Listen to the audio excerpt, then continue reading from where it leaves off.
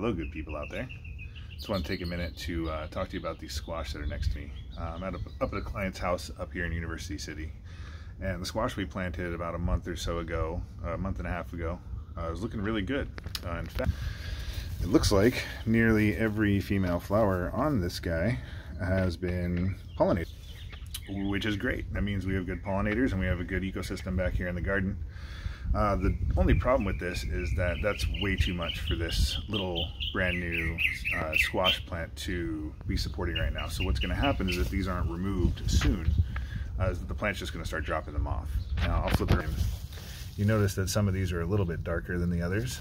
Uh, this is when we're just going to go ahead and start harvesting some of these tiny ones, knowing full well that they're probably not quite the size we want, but they're going to taste just fine. And anybody who's grown squash in the past knows there's going to be a whole lot more. So don't be shy about pulling them when they're small.